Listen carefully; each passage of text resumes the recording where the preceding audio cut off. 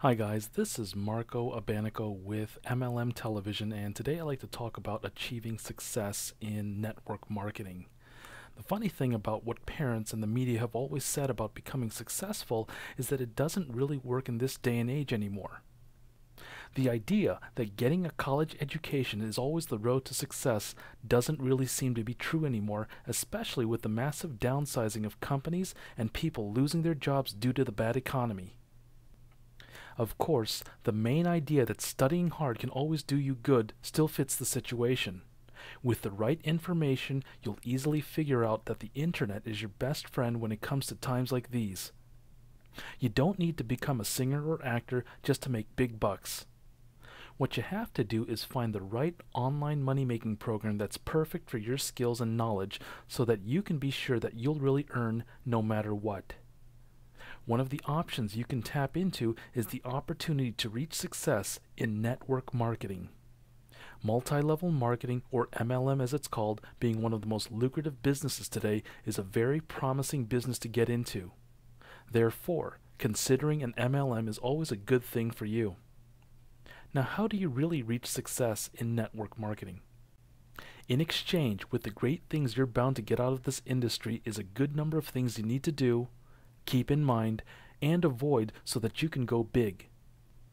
Some examples include the following. You really have to be very patient in this business.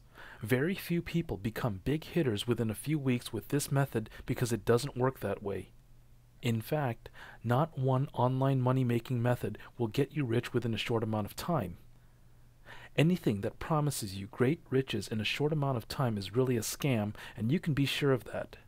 To really see results, you have to wait and you have to be patient. Since you have to influence people into joining this venture with you, cynicism is really a word that should not be a part of your vocabulary. It is an unattractive trait in someone, especially a potential person to work with. Do away with that, and you can surely do better.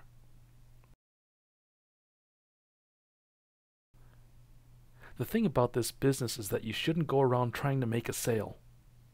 You will always have to have your own goals and aims so you can strive for the better and improve your situation. This adds up to the measure of your success in network marketing, so be sure to take this step as well. There are tons of things that you can do to reach success in network marketing. These three, however, are the most basic ones, so make sure to keep them in mind as they will surely come in handy in your venture. That's my message for today. My name is Marco Abanico with MLM Television. I'll see you next time.